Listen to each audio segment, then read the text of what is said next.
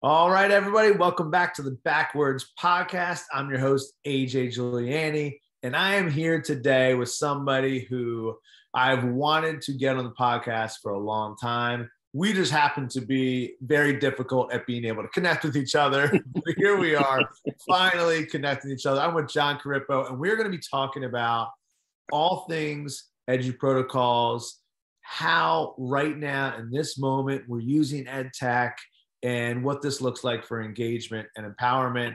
And like always on the Backwards podcast, we're going to dive into Jon's story first. I have to tell you, okay, it, it may start when he was five years old because I already got a sneak peek when we were talking a little bit before. But uh, I'm interested, John, if you could just share with everybody a little bit about yourself and how you got to the place you are now, which is working with people all around the country, all around the globe on engaging and empowering students. How, how'd you get there? Tell us your story.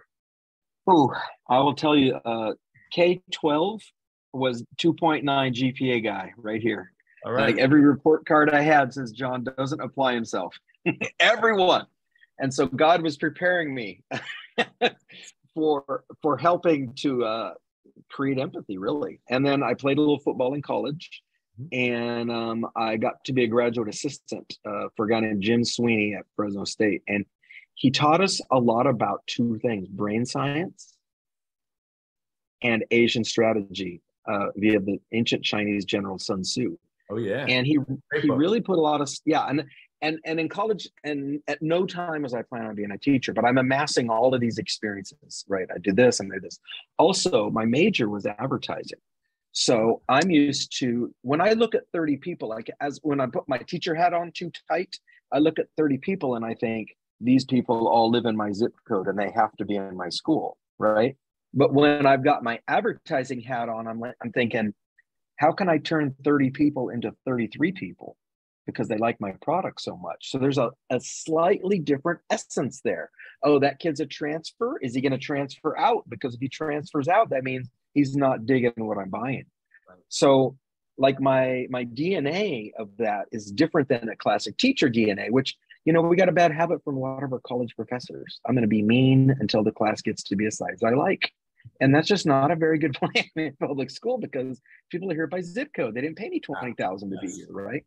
So mix all that up, mix all that up, and then I meet this hot girl named Rhonda, and she takes me to weddings for like six months to a year uh, as we're dating, and I keep having to sit next to her high school cheerleading coach, who's now an assistant superintendent. And so we just start shooting the breeze. And after about five weddings, he's like, Bro, you're a teacher. Let's go. And literally within three days, I knew I was like, This is what I do, bro. This is my jam. And again, a kind of a God thing, I realized all the years of kind of sucking at being a student gave me empathy for what it's like to be really bored. Mm-hmm. And this is back in the days when we didn't have air conditioning in the room. And uh, man, it was a big day if you had a color of a pen other than black. Like we didn't have staplers. It was old days, right? So for me, I always try to channel a little bit of Jack Black in my classroom. Like, like it's going to be a good day. It's going to be a great day. We're going to enjoy ourselves. So I got into teaching and I spent about four years under the spell of Harry Wong, which actually did a lot of damage to me. Um, his book, the, the, the, First Days of School, like I'm going to be straight right now. Uh, 98% of the book is dead on. But the 2%, like AJ, if I said, I'm going to give you a banana split right now and there's some fly in it. Right. How much how much fly before you don't want it? Like yeah, most people don't fly. So it's a really good book. It's like a banana split of teaching, but there's a little fly in it. And here's the problem. And and it's not Harry's fault. It comes from a different time. When I played football in the 70s, there were two main things they yelled at games. Walk it off. Can you imagine that nowadays? no, they call a friggin' helicopter now. Same thing with me. I was and there. Then, and then they would say, don't drink water, you'll cramp. Oh, yeah. Well, that was pretty bad advice. Um, now I have kids at the mall who've been away from home for 12 minutes and they're like, Mom, I need to hydrate. I need to hydrate. So, so when Harry wrote the book, it was a different time. What I realized is that it's possible to read that book and come away with the idea that procedures are more important than the relationship with the child. And I'm going to tell you guys right now, anybody's listening, nothing comes before your interpersonal relationship with the child. Um, for your listeners that don't know, I was an assistant superintendent. I was an executive director of a, a top five educational nonprofit in the in the country, and I fired myself and I went back to the classroom two years ago. Yeah. And I didn't tell you this when we were in the green room. And by the way, thanks for the snacks, delicious.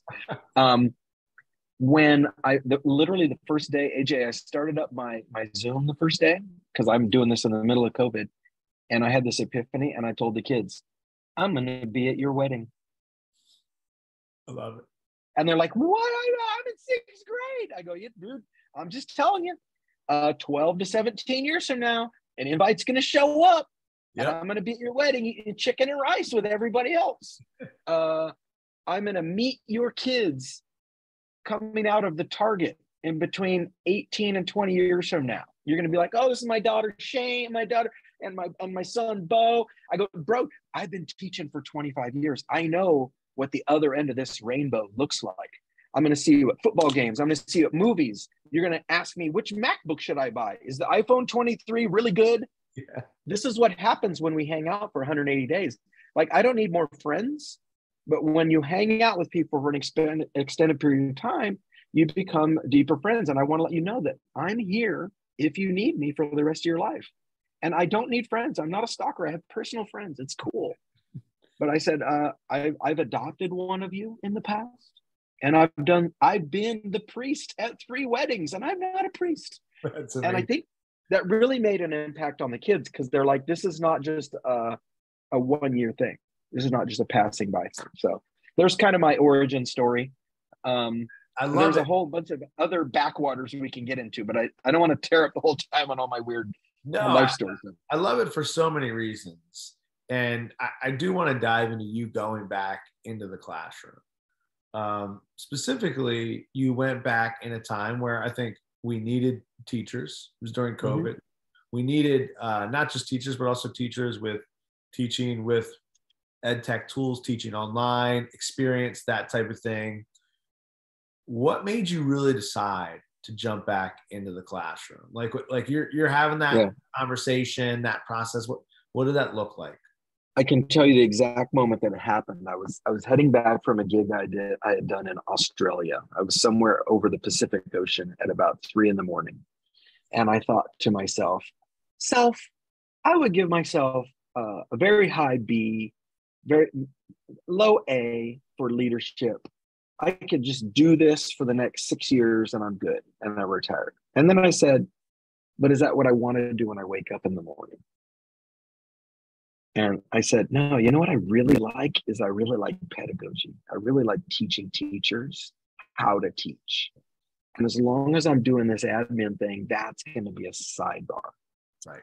And so what I did was I said, how do I how do I get myself out of the administrative slash leadership rat race? Because you've been in it. Like, oh yeah, it's like a bottomless pit. Make more money, lose more time. So you need more money to pay make up for time, and then make more money so you can go on vacation and all that stuff, right? It's just it's a rat race.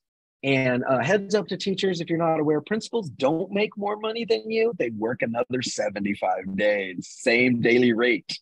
Check out the math sometime. It's not that great. So I said, okay, Jon, so if it's a clean slate and I like teaching teachers, what's that look like? So I decided if I'm going to presume to tell teachers what we're doing, I need to be good at it. And so I never want to be the guy that stands in front of people and go, I haven't been in a classroom since 87. Yeah. So uh, I said, okay, I got to find me a teaching gig somewhere that'll allow me to do some side work because, you know, I, I could lose some income, but could, there's, there's a point where Mrs. Corippo would notice. So I went back to the classroom, set up a thing with my district where I could have 10 release days to help augment my, my uh, pay. And just kind of went whole hog edgy protocols on everything. And and that was just the greatest year ever. I invented about five brand new protocols, and all of them came out of pure desperation. AJ, it was like three fifteen Friday night. I'm like, I need something for Monday. And I don't know if you have this kind of mom or grandma, but you can literally give her a pile of flour and some bacon grease, and she can make a cheesecake out of that. and I was just I was just grandma on it. I was like, okay, well, if I did this and I did that, I don't have to do any planning Sunday. And I will be honest, a couple of them flopped. Not a lot, but a few did. I tried to have kids do. I'd seen people do a double state report. So you do the state you pick and the state I assign. And I really like that because the comparing piece. Right. And I said to myself, I'm a super good teacher. Let's do a triple country report. We'll do India, Mesoamerica, and China at the same time. Oh my God. it was so bad. I literally told the kids, okay, just stop wherever you're at. That's an A. We're done. That's five days gone. We're just going to call that an A. We're out of here. Good. Moving on. Ancient civilization. Yeah, whatever. um, so you get back in the classroom though, right? You get back in the classroom. Yeah. And yeah. The one thing that you're talking about, you're mentioning, which maybe I think most people that know you know, but maybe people don't, you mentioned this word edu protocols. And right. this is something that you've written books on. You obviously talk and do a lot. And you are just talking about how in the classroom you're going full bore edu protocols. What's an EduProtocol? What does that look like? Uh, you know, so explain it to us in layman's terms. It's, it's on the one hand, it's super easy, and on the one hand, it's super hard. Um, the super easy part is, uh, and and we didn't pre-show this either uh, in in the green room. So, uh, AJ, what grade level is is as a Venn diagram useful in? I was going to say a lot of grade levels. Yeah. What subject? A lot of subjects. How many times can you do it until it's completely perfected and useless? like forever, right? You can do, you can do that for Visa cards. What yeah. TV should I binge show next, right? You won't do it. So, in its simplest sense, a protocol is like a Venn diagram type of thing. It's a it's a thinking map. I've heard people say that, but it it it doesn't require technology, but it's better with technology. Like almost all the protocols will work on paper. Uh, the only big problem with doing them on paper is they're hard to share Right. And there, and then you have to collect papers again. But protocols are also like a methodology of engaging students. Yes. Protocols are a way of giving students feedback. So it's kind of like it's like a whole mindset thing. But the gateway drug that we call it, uh, the gateway entry level drug, is what we call fast and curious. So here's another little vignette. Yeah. Uh, how many times, AJ, have you heard a teacher use this phrasing? we reviewed for the test with Kahoot. Many, many times. We reviewed for the test with Gimkit or Blooket. Okay. So here's what I did last year or, or year before last. So we did Latin roots. There was no word wall. There was no word search. There was no crossword. There was no write 15 horrible sentences that I don't want to read and over the weekend we we would drop the words into Gimkit and we would play for about three to five minutes on the 15 words. And then I would give the kids feedback. And then uh, that would take about one minute. And then we would play again immediately. And we would do that Monday, Tuesday, Wednesday. And then on Thursday, we were usually at about 85%. And I said, okay, let's go one last round. And if the class average is above 90, we'll stop you'll get an A, and then we can play the fun one tomorrow. So, like in Gimkit, we could play uh, Among Us or one of the fun ones. And all I'm doing is giving them one more rep, big dummies. Uh, so we start doing that. And remember, there's no packet. And this blows people's minds. I'm not reviewing with Blooket. I'm not reviewing with Quizlet. That is the memorizing piece. And then teachers will say, What aren't they memorizing? And to which I say, I've been waiting 25 years for kids to memorize. So yeah, uh, fraction to decimal, decimal to fraction, uh, math facts. Yeah, that's memorizing. If I want to do concepts, I'll do a different protocol like a Frayer or an Iron Chef. So there's about 70 official protocols. But basically, it's a way of doing things over and over again that allows you to give kids real time feedback. So you never end up with a stack of papers. You're preventing failure. And then I'll just wrap up that little portion with this. I had a student, four teachers came to me before he hit my classroom and they said, Oh, you have so and so, he won't do anything. And that was based on last year. Four teachers. First thing they say to me, Oh, I heard you got something. He won't do anything. Guess what that dude did at Christmas, right at right before Christmas break, we had the Latin root cumulative final. There were 45 questions. Okay, that's a pretty big bite for a lot of sixth graders. Yeah, yeah. I gave them 12 minutes. That dude did 135 questions because he just kept going. He only missed five. He basically took the final three plus times and only missed five. Oh, that's the same guy that they said wouldn't do anything, who, by the way, was a sped student in the first percentile. Those are mind blowing shift. At his IEP in March, AJ, his mom said for the first time in his life, he's begun advocating for himself with his siblings. And he has six siblings. That is a big development when you have six yes. siblings. Yes. So to me, that's like the highest level of education where I've taken a student who was claimed to do nothing. Yeah. Oh, by the way, he beat the entire class by four thousand dollars in Kit. He destroyed them, and they were fast. I couldn't beat them, and he took them down. Love it. At the end of the year, he was fifty fourth percentile in math. He started the year at first percentile in math.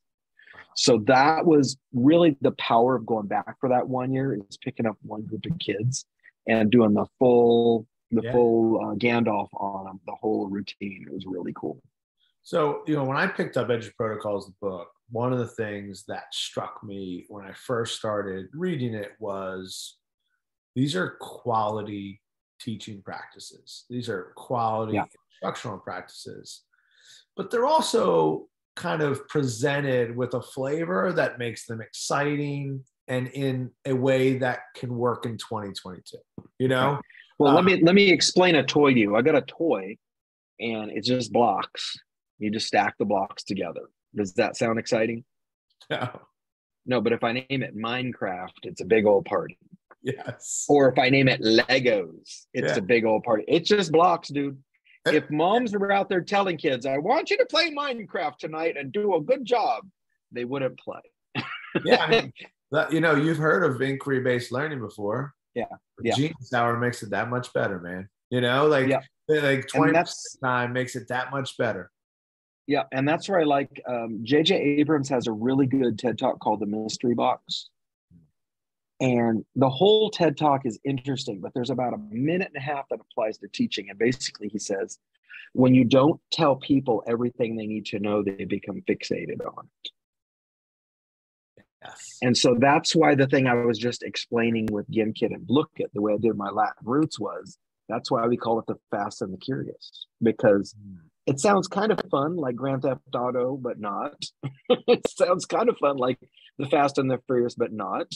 And it's called the curious because we don't do any direct instruction on the first round. Get in there. Let me see what you got. Now, some follow up stories. A friend of mine went on a cruise with me last summer to Alaska, and we spent like three or four dinners and lunches walking her through this. AJ, she walks in, she's in a major district. It's like the fourth biggest district in the state. Her district language arts person walks in and goes, You have 91% accuracy on 61 literary terms, and we've been in school for six days. How did that happen? Hmm. And she says, Fast and the Curious. And the language arts uh, person goes, So you taught them, and then you did Fast and Curious. And she goes, No, this is all we did. This is it. Two weeks ago, she followed up with another one on all eight parts of speech, her class averages is 96%. That's sixth graders. And they're using that same technique. Now that's a super, like I said, it's a gateway level, right? Yeah. It's there's really sophisticated ones. There's two that I don't even know how to do, too fancy. Yeah. So there's a spectrum of really fancy things, but do I have to be a- able to build every Lego to enjoy my Legos? So that's the other thing that's nice. It's you can settle in at a level that works for you. So hopefully that just uh, kind of gives people clarity. Think about it like a lesson plan that you can use over and over again with um, new content, but the student knows what success looks like. And you mentioned that you know there's sophistication. Marlena, my co-author, has a lot of experience with Kagan. Yeah. Um, I've spent years working on Marzano type strategies. And here's the problem with all of those framework type of things like that So there's here's Hattie's 256. We've known about Hattie's 256 for 20 years, but we don't know how to put them into play. Right. We know the names. So I'm going to move from Hattie to Marzano. We know that Marzano's top nine includes similarities and differences. Right. But here's one for you non linguistic representation. How do I teach that? Right. Right. And so, an actual practice, not just. if I, yes, it's not enough to say, can you imagine me? I'm at your staff meeting. You're my first year teacher. Folks uh, use a lot of uh, non linguistic representations. And you're like, I have no idea what you're talking about, dude. But I have a bunch of these worksheets for TPT. Is that good? Yeah. So in protocols, uh, again, my co-author Marlena came up with this one. It's called Sketch and Tell. And what we do is we put kids in a Google slide, and we tell them, we just learned how to make Adobe bricks for a, a, a Spanish mission.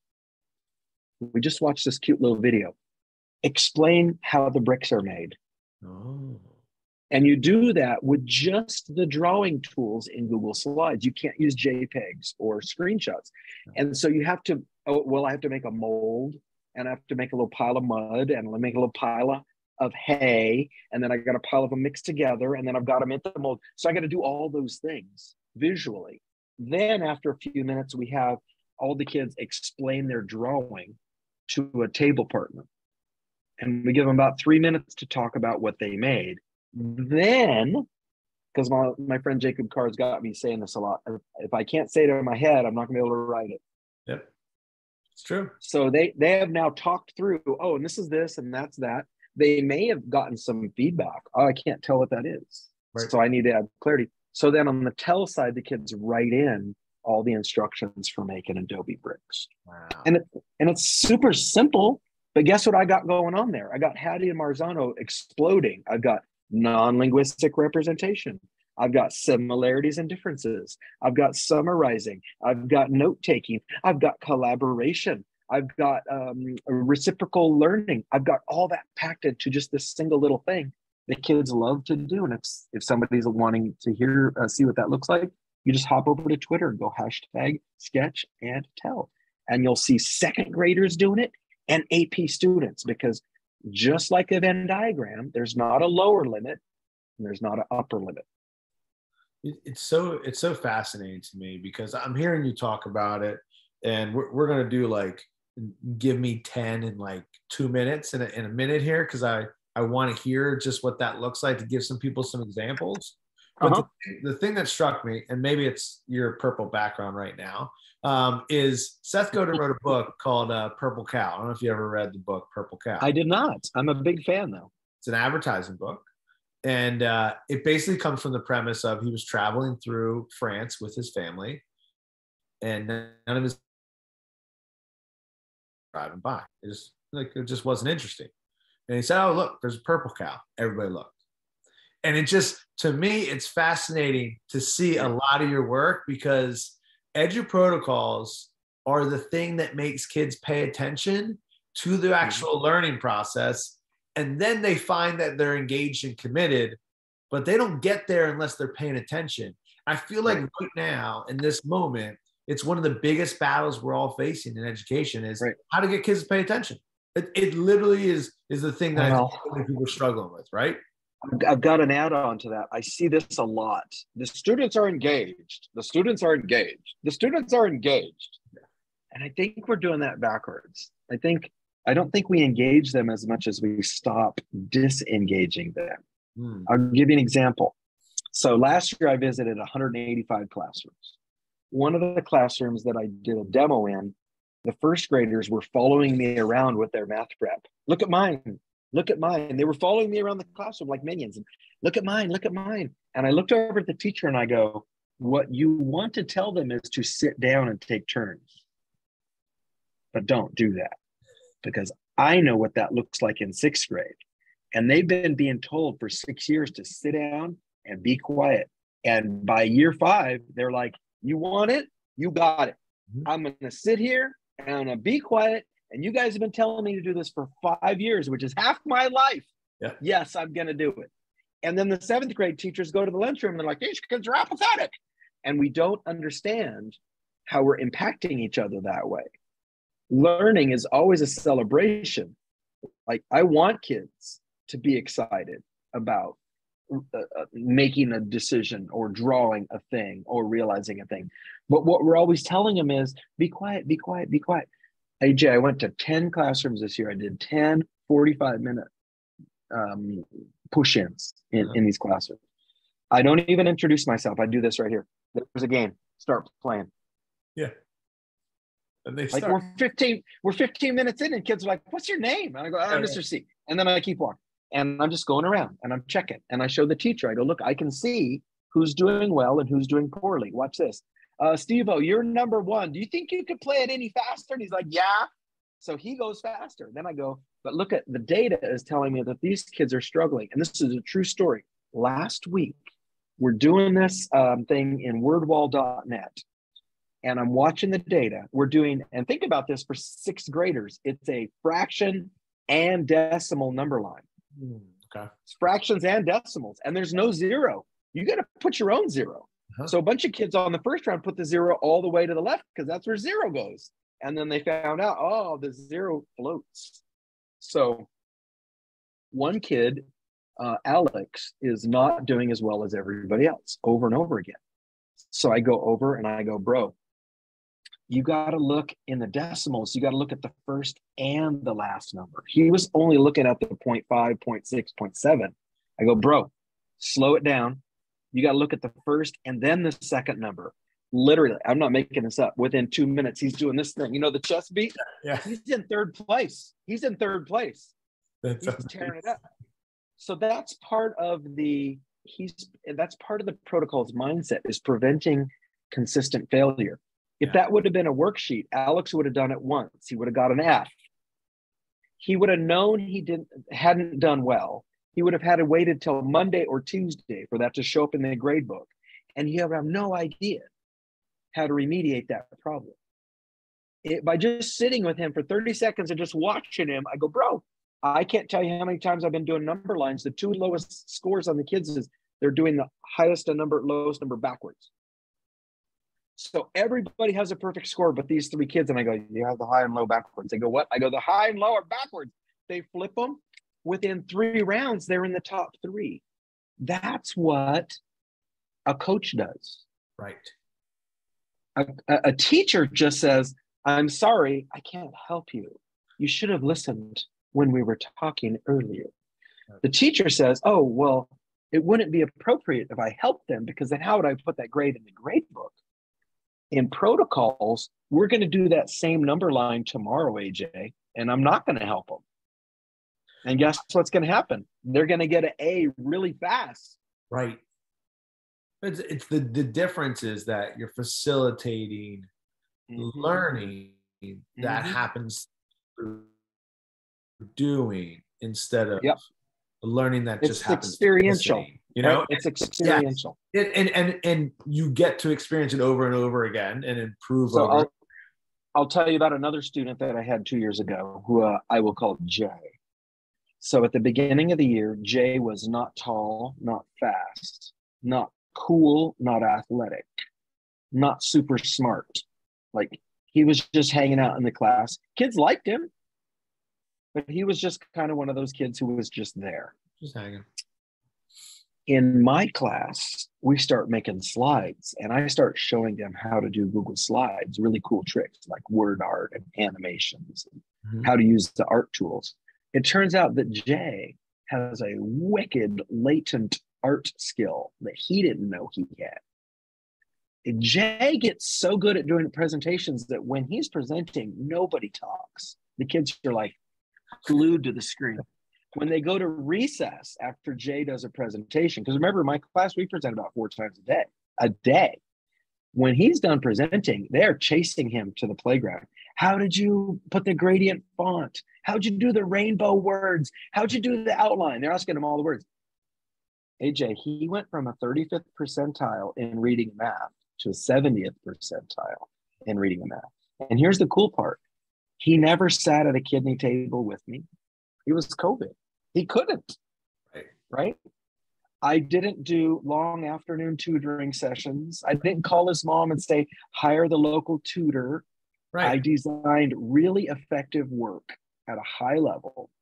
I coached him in real time, just like you would a football or tennis player.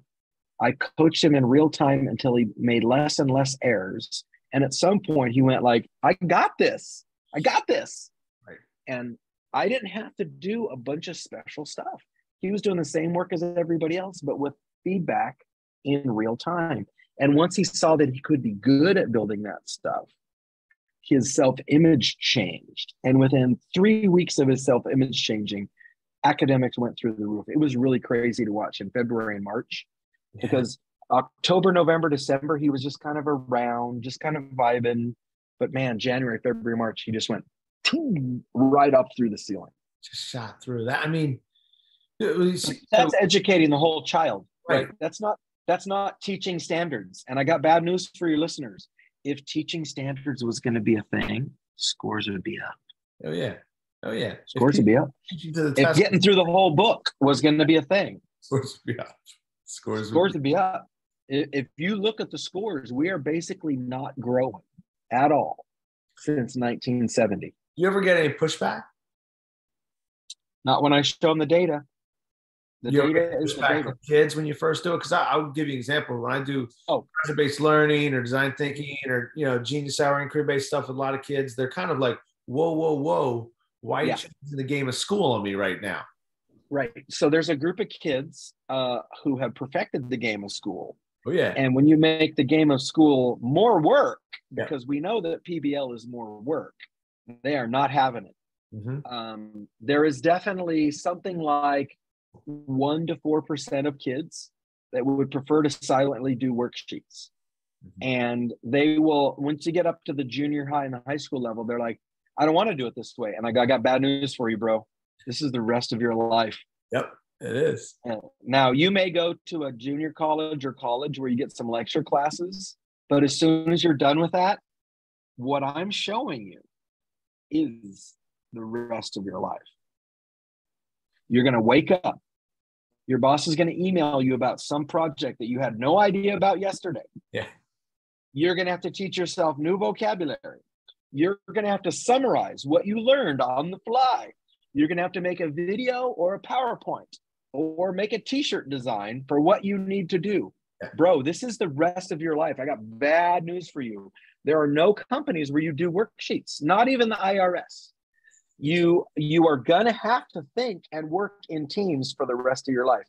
And the number one thing in the research i've seen the number one thing that gets people released to say it in a kind way is their interpersonal relations. That's the number one thing more than incompetence. Oh yeah. Is being the crazy person on the team that will get you voted off the island. So um, so far i've done pretty well with that at the school we were at we would just tell kids there are four normal high schools around here. If you want to go to the normal high school, I'm, I'll give you a ride. It's no hard feelings. Go for it. But what you're going to find is that is not going to get you anywhere after school. Right. Nobody wants to play t-ball for the rest of their life. At the bare minimum, they want slow pitch. Yeah. yeah. Yes. You're basically asking to do t-ball for the rest of your high school career and do less work I'm not going to lower our school standards for that. If you want to go there, not a problem. Like I get it, but it's not, it's just not real. What was funny was probably 25 to 40% of the kids that left were back two weeks later, three weeks later, and they're like, oh my God, I couldn't stand it. I was dying. I was dying. Wow. I couldn't stay awake. Well, I mean, and some left and never came back. Yeah, once you see that shift and you really start thinking about yeah. how, how, do I want you know my education to be? How um, what am I learning? Right. Yeah. Or here's another example I use for kids. Uh, when I tell you you're going to take a university level English class, when I say that to an 11th grader, they're like, they freak out. When I tell a 40 year old that, they're like, oh my God, that would be so easy. Perspective is everything. Yeah. Perspective is everything. If I can think and summarize and collaborate, you can't stop me. There is no class. Well, nuclear fusion. Uh, there's some classes, but most of your classes are going to be very doable, very doable. No. And it's such a powerful technique. And I, I actually took a couple of my sophomores from that school. They said, okay, Corippo, I love this school. I love all the PBL. I love the no workbooks thing, but is this getting me ready for college? And I go, let's go. Let's yeah. go to college. Yeah. Let's go to college. So I lined up four classroom visits and we went to an, an upper division journalism class, an upper division uh, English class, mm-hmm. an upper division business class, and an upper division genetics class. Literally in every class, 10 minutes in, the kid looks over and he goes, Is this it? I go, Yeah, this is it. I could do this right now. I go, I know. Yes. It's just college, bro. Don't listen to the people that try to make it into this big ivory tower. Like you got to read your chapters. You got to read your chapters, but it's not a mystical thing. If you're a learner. Un- yeah. And, if, and learner. if you can engage the teacher and you can take notes and you can tell people what you think in ways that make sense, you're unstoppable. And you're never going to get that from sitting quietly all day and filling in Scantron's. You're just not going to get it from that. I love that perspective. So if someone's listening to this right now and they're like, all right, I'm I'm digging this EduProtocol stuff. Um, I want you to hit them. I'm gonna give you like two minutes on the clock. Let me let hit them with just as many as as you can just think through what it's called, what the process okay. is. Um, I'm just you know, you told me. Told you're gonna me, put a time. You're gonna put a timer up on screen for me. I'm gonna put a time. I'm gonna put a timer up on the screen right now. Let me pull up timer. Okay. All right. Uh, time o'clock. Set a timer for my I'm ready when you're ready. I'm just gonna pull up Google Timer here. All right, we're gonna go. We'll, we'll give you three minutes. Is that all right? Three minutes is plenty. Okay. All right. I'll put it up as soon as uh, you get started. Here we go. Three minutes. You're up. Ready? Ready. Go. Okay, so we've got uh, the first one that's really fun is thin slides. One picture, one word, and three minutes. You give the kids three minutes. Each kid builds one slide. Towards today, AJ, parallel. Who wants a lecture on parallel? Literally nobody. Right. But imagine 30 kids putting pictures of parallel up, and then they have to make a claim or share their reasoning. What's my prep time? Boom. And I can do this every day. Tomorrow, when they come in, supplemental angles, go. When they come the next day, complementary angles, go. Perpendicular. So you can work your way through uh, vocab really quickly that way. Another good one, you've heard of Think, Pair, Share? Oh, yeah. We do cy- Cyber Sandwich. Marlena's version is called Cyber Sandwich, and it goes like this You give kids five slides, five slides. On the first slide, AJ's reading something. On the second slide, Jon's reading something. We each take notes on our own slides, right? So we've got notes now. On the third slide, we compare our notes. Boom that's like four marzanos. Yeah. the yes. teaching the teaching occurs i am silent pretty much until everybody's venn diagram is done. And then i say group three what are your three most important facts? Group four what are your three most important facts? Now we're we're making sure everything is good. We wrap that up with a paragraph. The paragraph can be summary response to literature. That paragraph can be anything i want. First person third person anything um, you've heard of jigsaws right aj a jigsaw oh, yeah. Okay, that's a jigsaw's a 1.2 on Hattie's list. Not that I memorized that, but that's equal to three years of growth if you're an effective jigsawer. My friend J- uh, Jay was an effective jigsawer. So we do an Iron Chef lesson. Five kids in a group. Let's say we're doing literary devices, AJ. You're irony, he's subplot, she's poetic justice. That one's uh, paradox, and the other one is uh, let's go alliteration. So in teams of five, each kid does one Google slide. Now, here's what's cool. If one kid screws up their one slide, it doesn't hurt everybody but the one kid, right? So, five kids, five slides. Each one has a subject. Give me three facts, definition, and a picture. Boom. What's my planning time? What's my grading time? 10 minutes to build, lots of ACDC, and then two minutes to present. I'm not grading anything tonight because it's pass fail. Last one number mania. In the old days, I would give kids 30 things about the gold rush. I would say, I'll see you in three weeks. They would all do it the night before. Now we do number mania. Watch this, AJ. It's wickedly cool. A Google form goes out your name, your fact, your number. We're doing Pearl Harbor. AJ does December 7th, 1941. Jon does USS Arizona, 1,100 guys. Those all dump into a spreadsheet. and then the kids grab five facts and they build a slide, one slide each. And I preloaded all the graphics they need from the Noun project because we don't got time to look for the perfect slide. Right. Under 30 minutes, and bam. Got it. All right. That was impressive. All right. That, that was impressive. We got Thin Slide, Cyber Sandwich, Iron Chef, and Number Mania out of Just that. like that. three minutes and uh, Yep. explained pretty well, you know, as well. You've talked about Fast and Curious uh, in here as well, and some other ones. Jon, where can people learn more about EduProtocols? You made them open source, which is an amazing, amazing thing that you've done for educators. What does that look like if someone wants to learn more and, and get started with this process? The shortest answer is uh, three things. One is you can go to eduprotocols.com, amazingly, and there are there are free templates there. And you have to, we- we ask for your email address so we can stay in touch with you, but there's no charge. And so there's about 12 protocol templates there with examples and all those.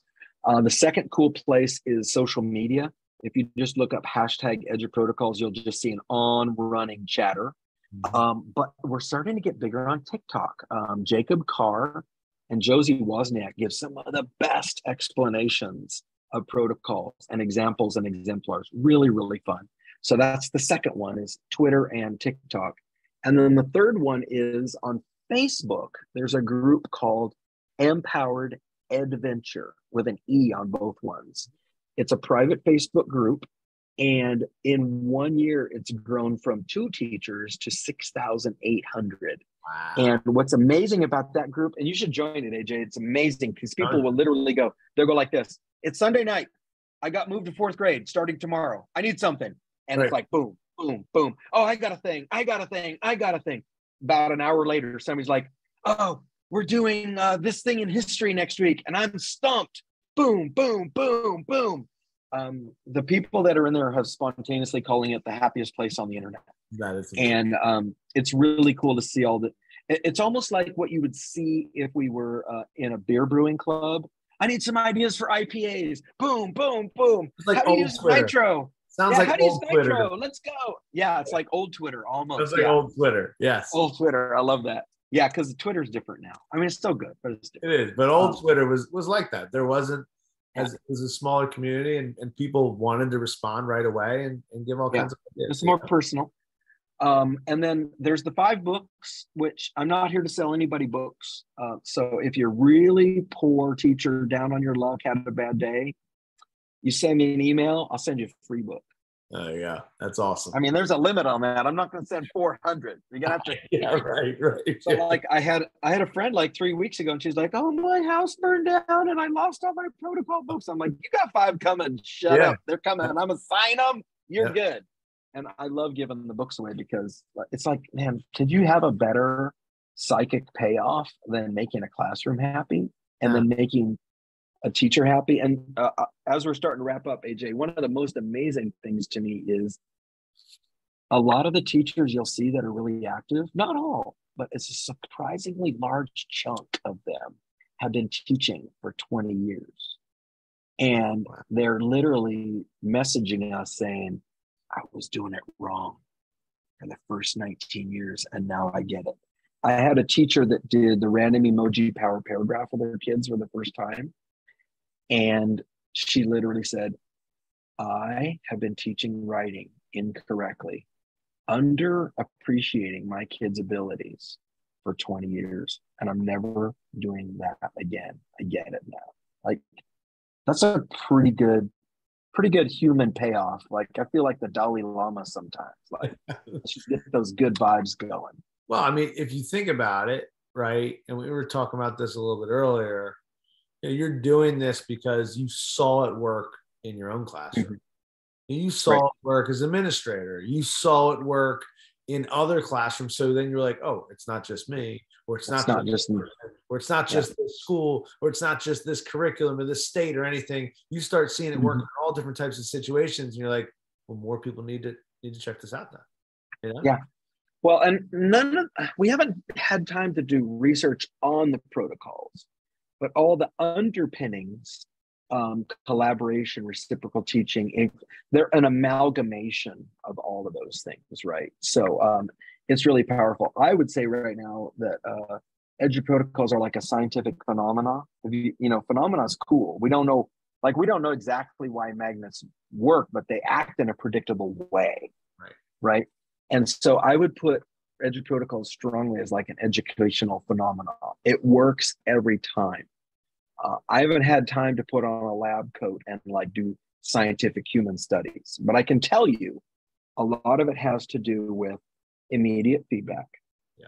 ability to grow, a sense of ownership, a sense of creativity. I mean, those are just things that are germane to the human experience. Yeah. And so, yeah, wait, I don't have like Harvard level research, but we've got people doing this in India. We've got people doing this in Mexico. I was in Mexico two weeks ago. The kids there respond exactly the way the kids do in the US. It's just really crazy cool to see how replicable it is.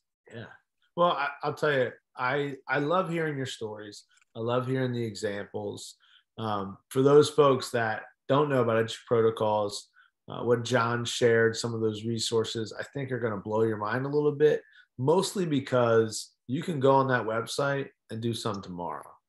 And, yeah. and to me, and it may not be perfect, you know, you're going to try it, but you're going to get better at it. And you can, but, but we even, we even have a plan for that, which is based on cognitive load theory. This is a scientific approach that is a phenomenon that works. We always do the first protocol. So, like if Number Mania or Iron Chef sounds great, the first one is going to be on the history of Nike, the history of White Castle, the history of Arby's, right. Colonel Sanders, super low floor, high engagement. And that way we can work out the kinks. Yep. Because we're going to do this once a week for 36 weeks. We don't have to get it all perfect. Like, here's another, just one more analogy, AJ. Look how far football players move from week one to week 12. Yes. Yeah. Would you agree? Coaching a team right now. I'm coaching my son's team. It's unbelievable. We don't have any sense of that in teaching. And in teaching, we've got them from week one to week 36. Right. Look how much a football team grows in three weeks. How can we bring that kind of growth to our classroom? And we're not going to do it with better worksheets. We had already solved that. Yeah. And we're not, not going to do it with more engaging lecture. And we're not going to do it by adding video. Right. Because none of those things are the right sauce. What matters is human connection, fast feedback, safe place to fail. And I don't have to do research to know those are going to work, right? Those are those are how good teams work in any sport. So I would encourage people to look at themselves less like a teacher. A teacher tends to be a deliverer of content, mm-hmm. and a coach is a person who helps you get to a place that you can't go by yourself. Yeah. No, I like calling it, you know, we've we use that term guide on the side. I like calling it guide on the ride. You're along for the learning. Yeah. You're right, you're yeah. right there. You're along for the learning journey. All right. I like that. Then you go with that one final question, which yes. is we already got where to go and how to connect and all that kind of stuff. Final question. How do we do this type of thing for grading and assessment? What would that look like? Oh, okay. So, yeah. So projects. Uh, this was another was Friday night scaries. It was Friday. I had all these Egypt projects to grade, and I said, "Come on, Jimmy Neutron Brain. I need an idea right now because I don't want to spend the weekend grading these." And so, okay. So here's here's how protocols work. Though I'm going to take classic things and combine them in a new way. You know, uh, the first time you had an Oreo cookie, you're like, wait, that's just frosting and chocolate cookies, but together it's a whole new thing, right? So I took a, I like the idea of gallery walks, but as a sixth, seventh, and eighth grade teacher, I know for sure that nothing good is going to be happening in the conversations. Uh, it looks good, but there's no trackable, traceable learning. So watch what I did. I took a gallery walk and I matched it up with a Google form. Mm. So when the kids come in on Monday, all the projects are up around the room in groups of four. Four people in a group, four projects in a group. And I said, you each need to visit, I don't care which two, but you need to visit each two. And in the Google form, it's going to go like this project number, because no names, And then it's going to go, if I was going to buy this poster in a store, one through 10. Uh-huh. The research on this poster compared to mine, one through 10. The writing on this one compared to. So I gave them three Likerts, one through 10. Mm-hmm. And then I gave them something I would change, not something I would fix, because that implies badness. I don't want to go there. Right. Something I would change and something that I like. And I sat back and watched my kids engage in academic discussion guided by the Google form. I got 145 grades in in 35 minutes. Wow. Then all the Google form dumps to a spreadsheet. So I sorted by poster number, right? Yeah. And then I did equal sum, added up all the scores, and then I did equal average, graded. Literally took eight minutes. And so then I screenshotted each score and I Google Classroomed it to each one of the kids. And this is the part that blew my mind. Obviously, the two kids that got an average of two out of 30 uh, learned a lot. They came to my desk and they're like, oh my God, I get it now. And I go, well, if I give you a couple of afternoons, can you get yours looking like theirs? I'm like, oh, totally. Yes. So that was a big win, right? Because the idea is perfect practice, football. You don't just say, well, you're bad at football, so we'll do football tomorrow. You say, no, we got to fix this. Yeah. So we fixed it. But the biggest moment was when the kid literally, when I show teachers his poster, immediately they're like, easy A, A. I can see it immediately. But he came to me and he said that seven out of eight people reported that the blue font was hard to read on black. So he would need to be reprinting his. And that spirit of revision and that conscientiousness is what's going to make him rich someday. and I want to, and in the old days, he would have said, There's my A, I'm out. Right. But he didn't care about the A. He knew that people couldn't see what he wanted them to see. So that one, we call that one for the people. And look at what just a simple thing it is a gallery walk connected with a, a Google form and you'll love what Stephanie did. She's got her phone in the crack of her Chromebook, you know, like a comic book in the old days. And I see her from across the room and I'm thinking, Stephanie, you're supposed to be working. I walk over and I go, What's up with the phone? She has taken pictures of all of hers. She wanted to work at her desk. So she's got her phone right there in the crack of her Chromebook, using it for notes. And I'm like, Oh my God, you just got a double A for being a conscientious, thoughtful, creative worker if I had an employee someday, that's who I would want working for me. These right. kids like that. So I really played that up. So that's for the people. That's the grading protocol for projects that'll make not like no more milk crates full of binders or you know yeah. big IKEA bags full of posters going home. I just as soon as we're done, and then I followed up two weeks later. We finished our Minecraft um, mission to Mars, and I did the same thing. I was like, oh my god, I told them to put eight elements on each mission. That's uh, eight times 30 kids is 200. I'm not grading 240 elements in Minecraft. That sounds like nine or 10 weekends. So I just said, guys, we're going to go like this. And each one of the sharers could share their three fa- favorite modules. So they could share three of their eight mm. modules. They didn't have to share all eight. So they got feedback on the three and I made it so that it was technical. Like, what are three things about their module that you like? Uh, it just, it just, the kids were great, and then they were just so chill, and they enjoyed sharing with each other and being social, which is what sixth, seventh, and eighth graders are doing. But I gave them a way to be academically social, and it was really cool.